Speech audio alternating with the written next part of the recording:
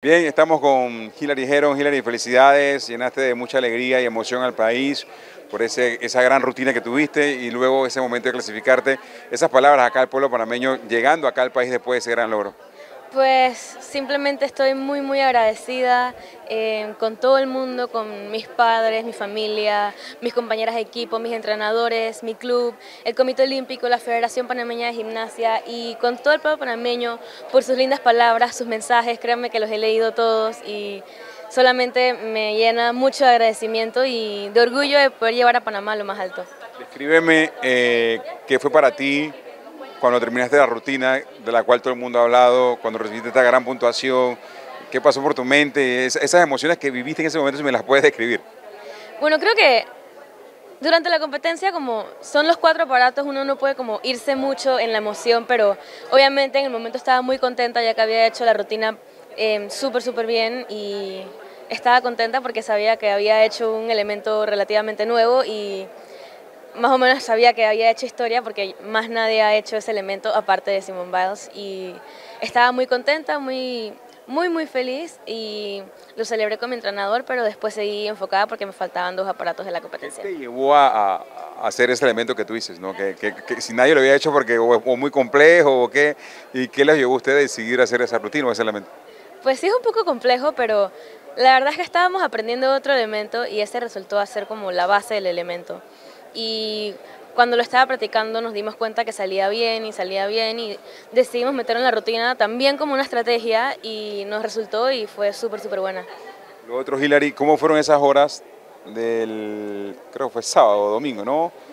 Hasta el día siguiente que se sabía si clasificaba o no. ¿Cómo, cómo fueron esas horas de, de estrés, de ansiedad? ¿Cómo fue eso? Pues eh, yo había ido a este mundial y no sabía que yo era elegible para entrar por el cupo del All Around, ya que había entrado como especialista. Entonces, sabía, pero no sabía. Entonces yo estaba tranquila, ¿no? Y pensaba que tenía opciones por entrar como especialista de salto o de piso.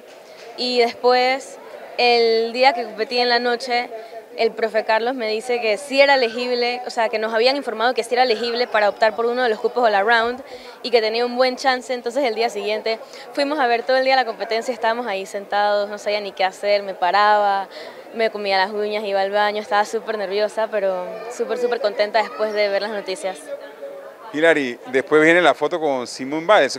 Háblame de eso, ¿dónde se la encontraron? ¿Cómo fue? Te pregunto también si ella había visto tu rutina, si le había llegado ya el video, hey, mira, una chica hizo lo que tú hiciste, háblame un poquito de eso. Em, no sé si ella sabe, pero en la, logré tomar la foto porque soy muy amiga de una de sus compañeras y estaba hablando con ella y le dije, oye, eh, ya que estás por ahí, estás con Simón, ¿crees que hay una posibilidad de que pueda tomarme una foto? Y le man dije, ay, sí, sí, claro, ven y te ayudo a que te tomes la foto. Y es una súper, súper linda persona, me encanta Jocelyn, súper, súper amiga, súper persona, súper deportista y gracias a ella eh, pude tomarme la foto con Simón. Ahora estás clasificada ya, pero igual a competir, a mantener ese ritmo, ahora aumenta ese nivel de exigencia y de preparación para llegar y hacer una buena presentación en París, y no solamente en París, en Panamericano vas en busca también de llegar lo más lejos, ¿no? Sí, claro, hay que seguir con la meta competitiva, esto no, no va a ser que yo baje la guardia, voy a seguir súper, súper fuerte con mi actitud de siempre, disfrutando todo y dando lo mejor de mí para dejar a Panamá en alto. ¿Qué dijo Pimpín cuando lo llamaste? ¿O cuando te llamaron ellos? Eh, bueno, mis papás, tuve la suerte de que mis papás estuviesen ahí en el momento de que, de compitiera y que se anunciara la clasificación y estábamos todos muy contentos, súper súper felices y orgullosos de los resultados. Ahora eres la ídola, decía así, de muchas niñas, de muchas, lo viste aquí, unas niñas estaban aquí, sí, vamos a esperarla para que tomara fotos con ella, ese mensaje y, y cómo cambia tu vida ahora con todo esto, ¿no?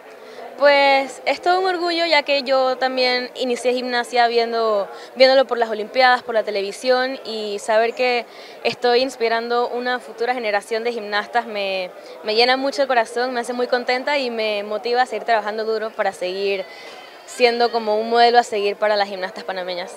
Gracias Hilary. ¿Algún mensaje especial, algo más que quieras aprovechar las cámaras de, de RP7 Telemetro? Muchas gracias, nada más. Gracias.